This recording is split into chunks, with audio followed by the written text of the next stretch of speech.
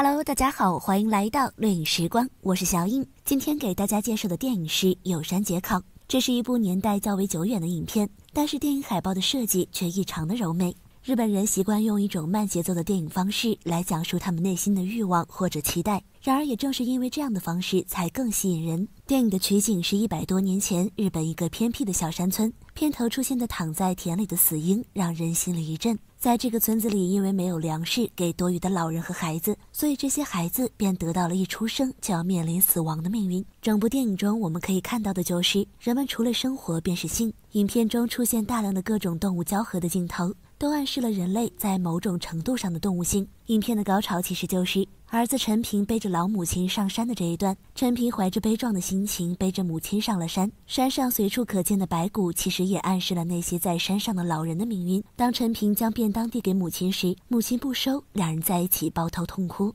沉寂以来的感情也在此刻喷薄而出，那种长久以来堆积在心里的压抑和无助，也在此刻通过母亲的肩背哭了出来。陈平在大雪中回头寻找母亲，他依旧不能接受让母亲一个人在这里等待死亡。他告诉母亲下雪了是吉祥的征兆，然而母亲却只是一味的让他回去。人们看到这部影片时，很容易想到远古奸父的故事。中国的儒教大环境的盛行，其实拒绝了这种事情的发生。三纲五常的伦理便让我们尊老爱幼，不可存在老人就是累赘的这种卑劣的想法。也许是中国地大物博，或许是我们这一代生活时代的差异，我们并没有体会到那种为了粮食、为了生存而抛弃生命的行为。我们也不能理解为什么这部影片会如此的没有人性，并且村子里所有的人对此都没有怨言。就像陈平所做的，他可能是村子里的异端，为了不打破这个所谓的规矩，只能遵守。为了能在这个村子里生活下去，只能将母亲送进了人间地狱。日本人和中国人的价值观可以从这部影片中窥探一二。中国五千多年来的文化发展，我们不能说文化有高低，也不能去批判外国的文化。